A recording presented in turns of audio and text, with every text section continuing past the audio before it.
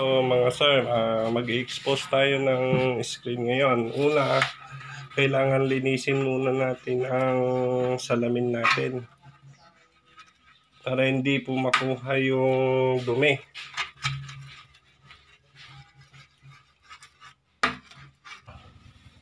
Hindi makita. Dito parang hairline lang kasi. Parang hairline lang yung registration ko. Taas at baba po siya. Yan. Blurred yung video. May registration mark dito na ano. Yan ko tinatapat yung screen. Tapos need na. Bali naka-ready na po yung screen ko dito. Bali tuyo na po ito.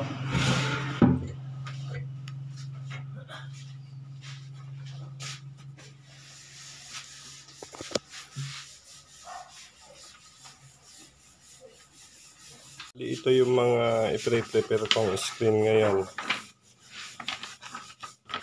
Ito para sa mga jogging pants.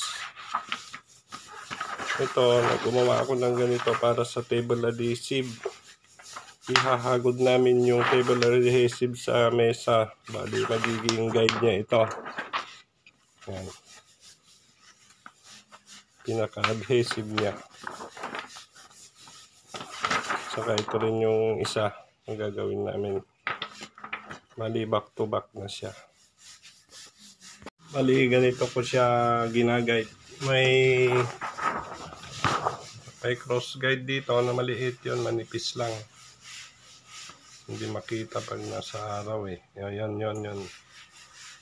May cross guide na maliit dyan. Maliit tatapat dyan. Ah, bali, ito po yung exposure table ko. Bali, may registro na po dito. May isa akong plastic doon sa loob. Ganito ko rin i-registro ang Tyreg. Meron din dito sa kabila. Ayan. Ayan, may cross guide doon. May cross guide din ako dito sa ibabaw. Bali, naka-set up na to sa sentro ng screen. Tapos, naka-prepare na rin yung mga screen ko dito. Bali, papasok muna lang dito sa may ito pag mag-expose ako. Yan. Ganito ako mag-expose. Yan. Bali, nakarehistro na po yan. Tapos may pamtakip ako na ganito. Upholstery. Kulay itim. Tapos may foam po ako. Nasa 2 inches dati to. Ngayon, medyo lumipis na. Bali ganyan ko siya dinadaganan. Tapos may plywood ako na ginawa. Ito siya. May brace sa loob ito. Para hindi lumubog yung plywood. Para walang bingkong sa may gitna. Yan. Bali, ginawa kong sakto siya para madaganan lahat may allowance lang konti ngayon bali ganito yung lock nung pan ko bakal tubular bali ito pinapasok ko dito at saka dito yung isa Ayan. Ganito ko siya linalak Ayan. Tapos dito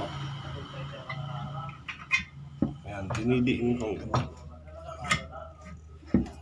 Dinidiin kong ganyan. Ayan. O, bali, nakalak na po siya. Ito, bali, pinatong ko lang tong fan. Ginawa ko kasi to. Ito yung dati kong mesa. May isang frame pa na nakalagay dyan. Bali, pinakross ko lang to. Kaya ganyan siya. Open po yung exposure box ko. Wala pong pan sa ilalim. Wala siyang box. Di tulad ng iba may box. Ito sira na to. Bali ito, itong exposure table. Ba, bali itong exposure table ko medyo magulo ngayon. Bali nandito yung timer ito gamit kong timer. Yan, bali sasaksak ko na siya. Ayan. 4 minutes. Bali diaso emulsion po siya.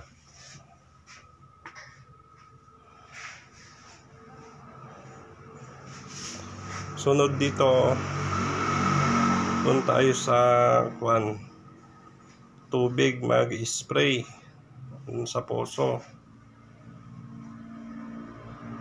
Bali, tapos na po yung time. Alisin ko na po siya.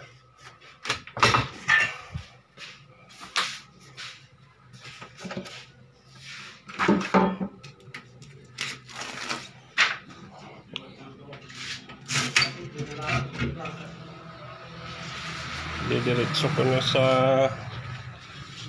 poso. Sabi mo ito na rin.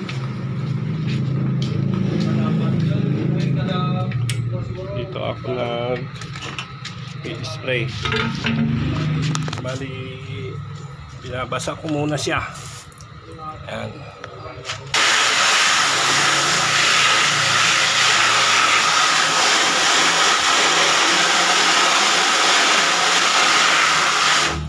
Tapos ito ang final sa, sa may likod niya.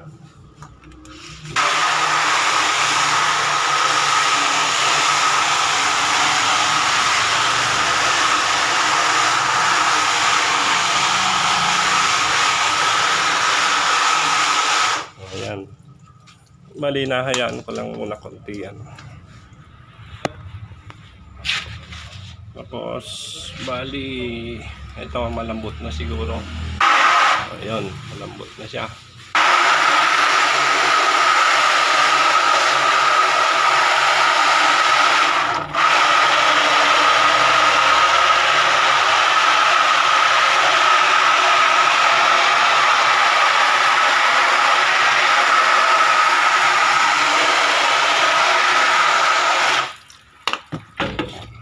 Baliktad natin para mas okay. Ayan.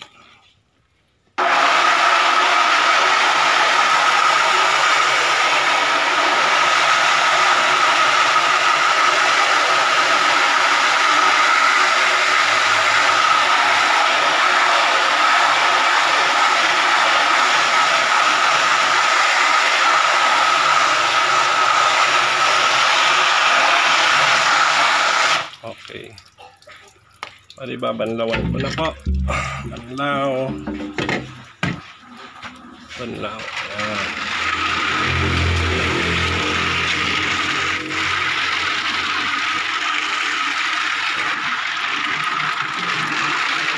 Aba, tapos papatuyuin ko po ito. Yun Ako sa kwan ngayon, blower. Bali, blow blower ko para matuyo agad.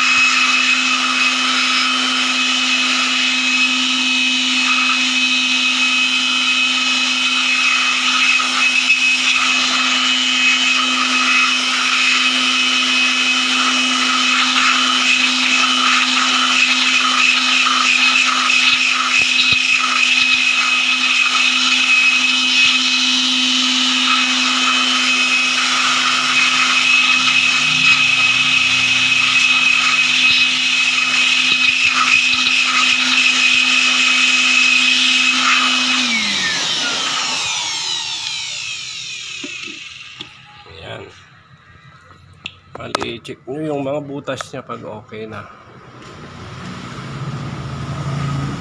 malinis na basa pa konti.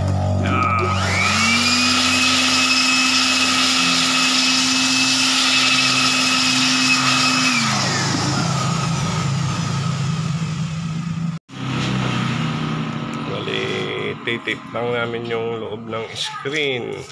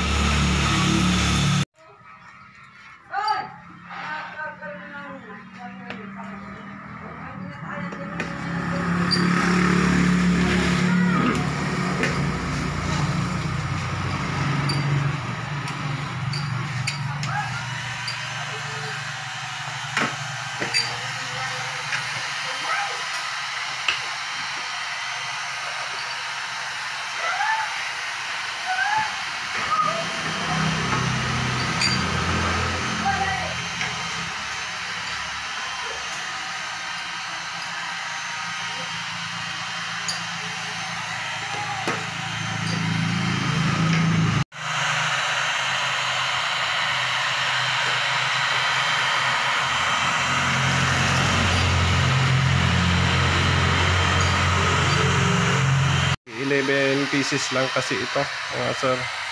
Kaya hindi nalatagan lahat ang mesa. Pero may mga susunod pa kaming gagawin. Kaya ah, tatlo sila.